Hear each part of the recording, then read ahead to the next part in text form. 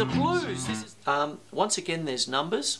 Okay, I just did a blues in E. So uh, what happens here is that if I'm playing um, an E chord, there it is. There. That's one. You go up the scale. A. Back to E. Back to the one. Then E, F sharp, G sharp, A, B is a B7. Back to A, do an A7 there.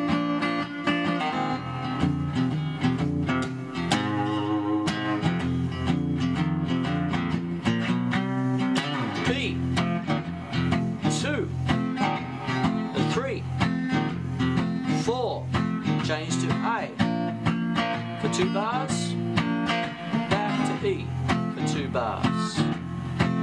One each on B, then A, back to E. And back to five if you're going to do it again, but if you're not, you finish on it. I hope you got something out of that. And then what happens is you've got a few licks you can do. You see, there's a few different things.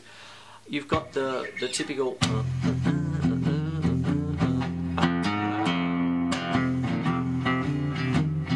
So you get so did a bad bad thing.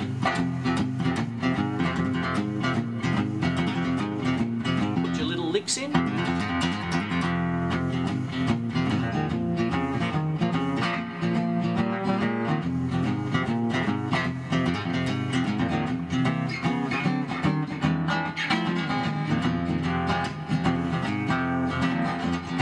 Take it up. That's a sharp 9, E7, the Hendrix chord, a lot of people call that.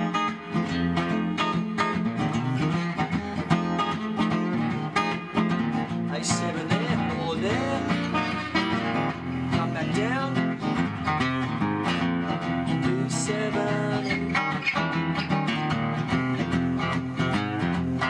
Now these are my little bunch of licks that you can do, but one of the things that you want to do is have a bit of variety. So there's the E there.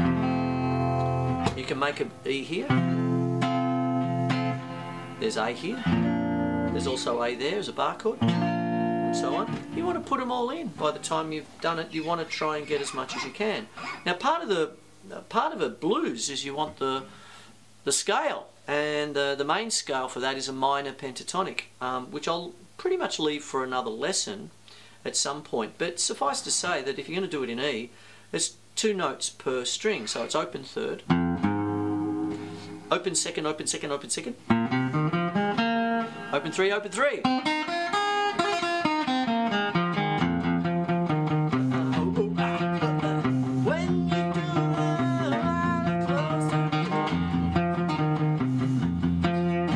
So on.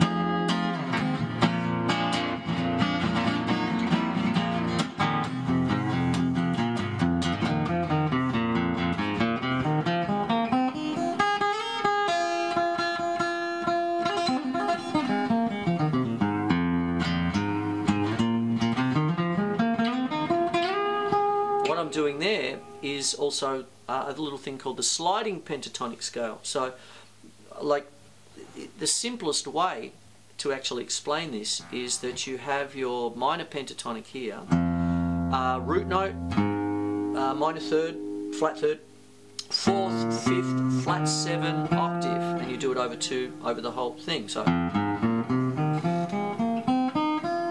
I almost feel silly explaining it. It's um, one of the most well-known scales in the world, and of course, um, that's what it is. You know, it's one of the most used, um, one of the most beloved, and all that sort of stuff. But sometimes it's surprising that people don't know what it is, and that's how the, the sound that you get.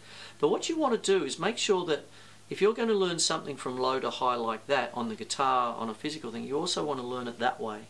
So what happens is you can have this.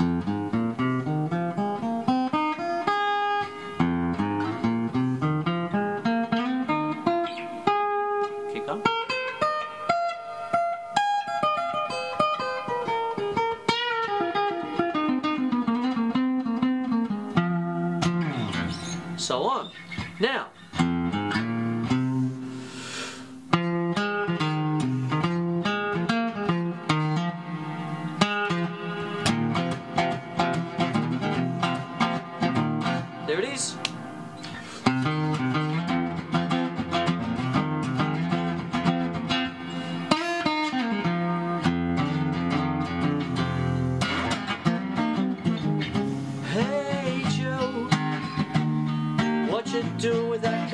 your hand.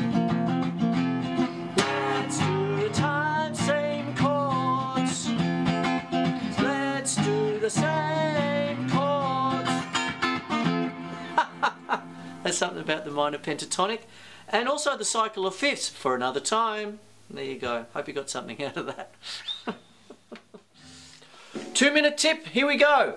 Okay, when you play a single stroke roll for the very first time, okay, it's usually just, which is fantastic when you see a brand new student, you know, coming in and going, oh, love the drums. And then of course you use, you know, you get the kids to use the right um, grip, uh, whether it be matched or traditional, you know, teach them both, all that sort of stuff, and all that, and then you get the evenness, and it's like a smooth flow. You get this smooth flow like that. And whether it be finger control and all of this sort of business, that's fine. But what goes on is that at some point you want a pulse. And the thing is, when you're dealing with a pulse in music, when you're just doing a single stroke roll like this, like, can I have a drum roll please? That's like a straight line, okay?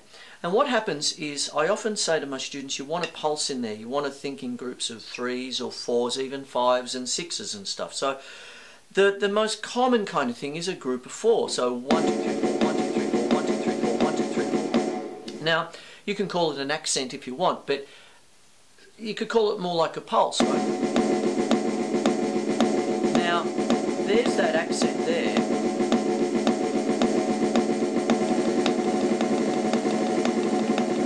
And what's happening is I just went from four to six sextuplets, but that straight line now is now like a little heartbeat, you know, like da da da da da da da da da da da.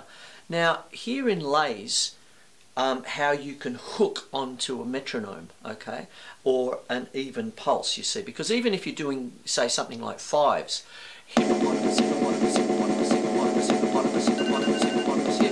you're still going to get a beat. I'm going to go a little bit further.